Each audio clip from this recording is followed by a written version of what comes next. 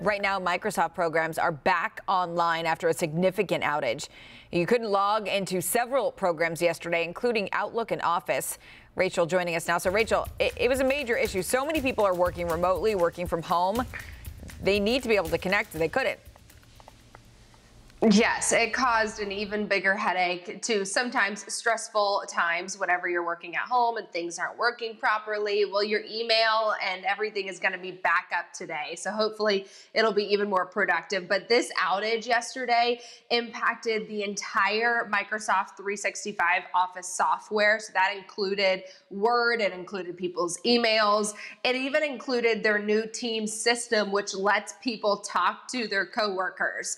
It impacted impacted much of the US for about four hours yesterday. Microsoft said that it was a change um, that they recently made to their software that caused this issue. They rolled back on it as soon as possible to mitigate the impact. It did leave a lot of people, though, scrambling. Even universities that have students working remotely, like these two you see on your screen, people were all over social media letting us know how they felt about it. One of them said, Oh no, this would happen on a Monday. Hold my beer. I'm going to lose it. Guess it's time to go home. LOL to that. And then someone is getting fired this morning. Goodness gracious.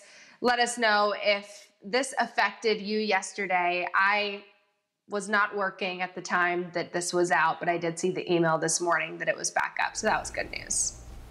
I, don't remember last time we had a Microsoft outage. I feel like this happens with other people, and then of course Facebook goes down, and then but Instagram something that you actually need to work. Yeah. Yeah, it's not often happening with like uh, a Microsoft kind of thing. But. Well, I say people should have used it just as a little pause. Take a little vacation. Right? Why not? At your house. Hey, if the boss complains, Carolyn says so. That always works for me.